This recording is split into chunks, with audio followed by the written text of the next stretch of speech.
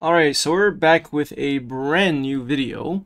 So in this video, what we're going to be doing is we're going to go ahead and listen to our very first event, which is the ready event. That's the most basic event that you can listen to.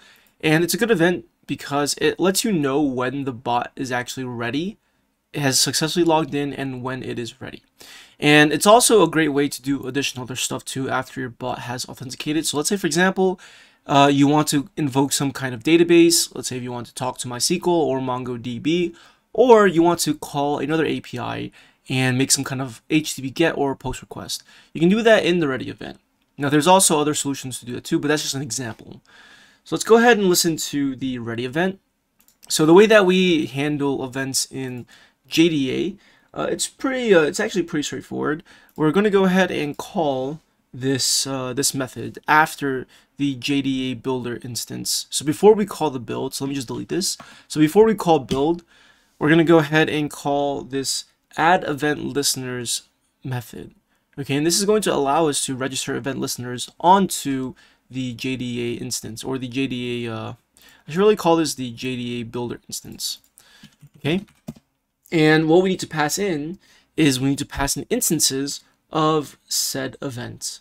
Okay, so right now we don't have any instances of any events whatsoever, but we need to create that.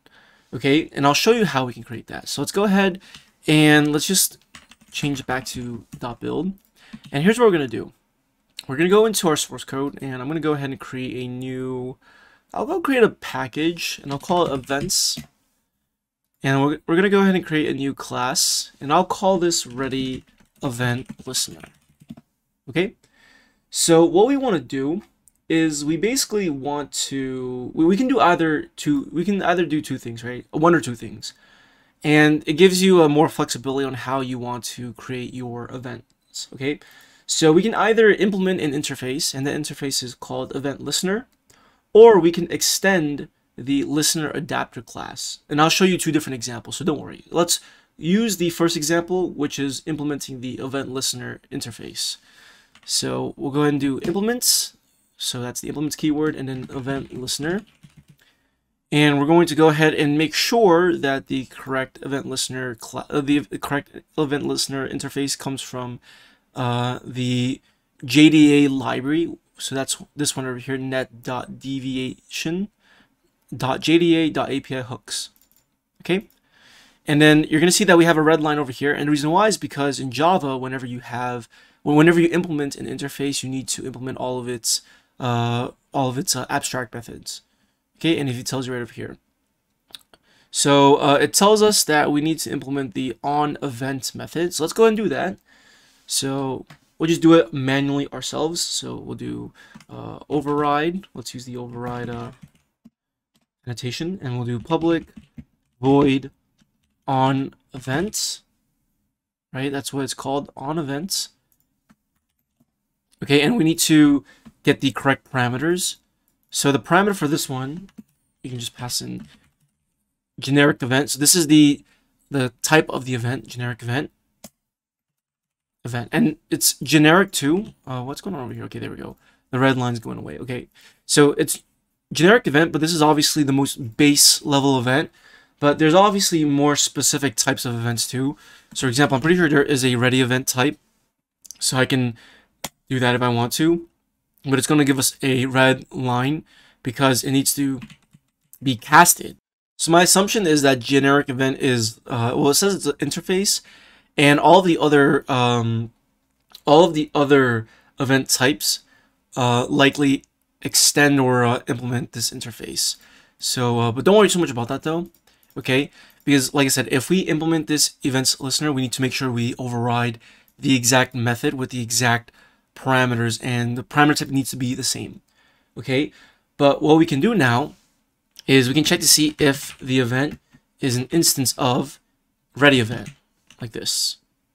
And this is going to be imported from the events package over here. And if it is, we can go ahead and just write system out.print the bot is ready and online. Okay, and if we were to look at ready event over here, you can see that this is a class, okay? But uh, event is going to be a type of ready event, Okay, so uh, let's go ahead and rerun the bot. And I'm just gonna just click on stop and rerun. All right, now we're not done yet.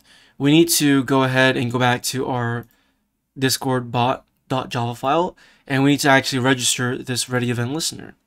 So what we have to do is we have to go ahead and add event listeners. So we're going to call the add event listeners method. Okay. Let me, let me delete build real quick. And all we need to do is just create an instance of our ready event listener class. Okay. So new ready event listener, just like that. And then we can call build. And let's go ahead and rerun the application. And you can see now we relogged in and it says the bot is ready and it's online. So that works.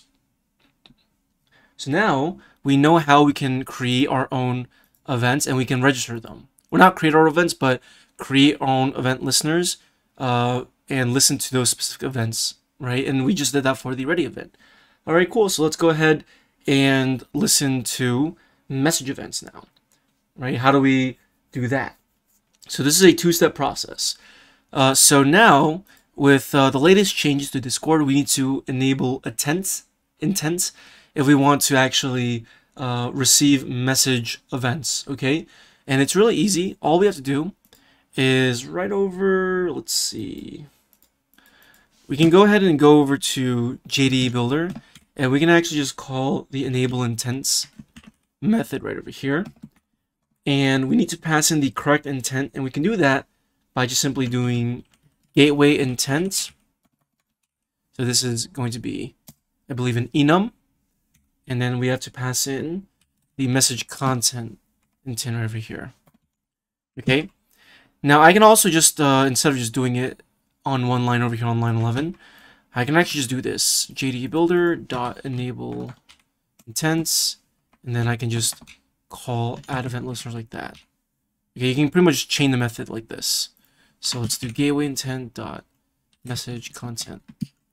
Okay, and I'm pretty sure we can pass in multiple uh, intents inside this method over here. Yeah. So we also will need to enable. We will also will need to enable other intents too, such as the guild. So let's go ahead and do that real quick. Let's enable the guild intents. Um, let me see. Why is it? Is there one for guilds or? Do we have to, uh, let me see.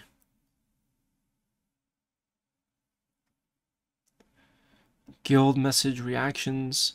Let's just do guild messages, I guess. Okay, there we go. We'll, we'll, we'll, leave, we'll leave it like that for now. All right, cool. Now let's go ahead and we need to go back to the Discord portal, the developer portal, and we need to also enable intents for our application.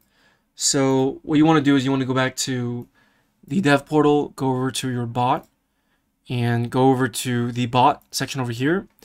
And you want to make sure you enable the message content intent right over here. Okay.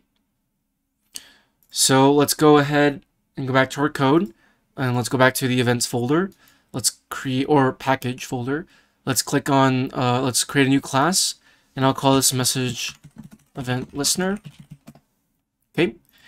And uh, so the first way that we created the event, uh, we implemented the event listener. In this example, I'll show you the example on how we can uh, extend the listener adapter class.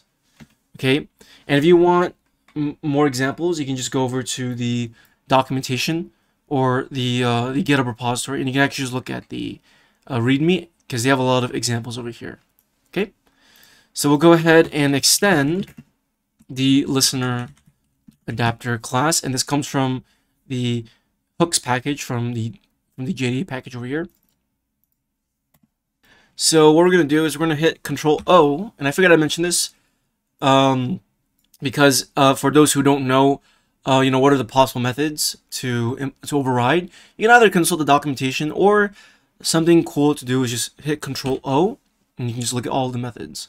So the one that we want to override is the on message think it's on message received. So whoops, on message received. And I'm going to go ahead and just click on OK. And it's just going to go ahead and set that up for us. Okay. So you can see that right over here that the type is message received event. Now, if you did not want to use listener adapter and you wanted to use, uh, if you wanted to implement the event listener instead, all you would need to do, an additional thing I need to do, is just check to see if the event was an instance of message received event, like that. Okay? But we know that this is going to receive message events. So what we're going to do is we're going to go ahead and uh, just do a system out print. And I'll just go ahead and get the contents of the message.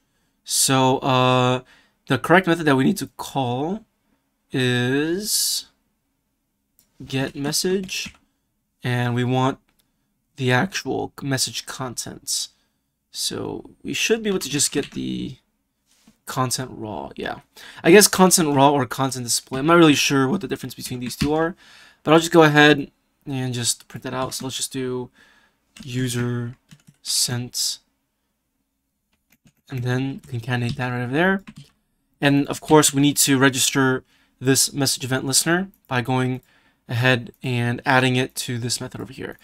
So let me just format this a little bit. I don't have any extensions with my IntelliJ, so I need to manually format this. So I want to go ahead and uh, get that message event listener class. But for some reason, it's not.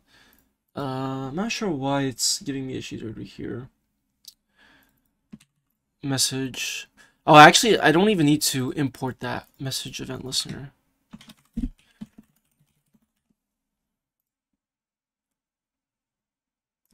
Maybe I do. Okay, there we go. Yeah, it's imported up there. Perfect. Okay. Before it was now it's now it's now it's being imported. Perfect. Okay, so we do need, actually need to import it from the package, which is easy, right? Import events dot, and then the name of the package. I'm just gonna do events asterisk. So this will just import all the packages for us. Okay, so that's pretty simple. So that way we don't have to import every single one manually. Let's go ahead and restart the bot. Perfect. So let's go to our Discord server and let's just go ahead and type a message. And let's look at our logs and you can see that we have the log. It says user sent and the message itself. Hello. Hi. It says hi. All right. If we were to send other stuff, let's say we were to send an emoji. Let's do check check mark, right? It would go ahead and show you the emoji right there. Well, it won't show you the emoji unless, I mean, unless if it was an, a, a Unicode emoji, right? Like white check mark, it would show you that over there. Okay, but that's pretty much how uh, you can listen to events, right? We listen to the ready event, and we also listen to the message event as well. But uh, yeah, that's pretty much it. So hopefully you all enjoyed this video, and I'll see you all in the next one. Peace out.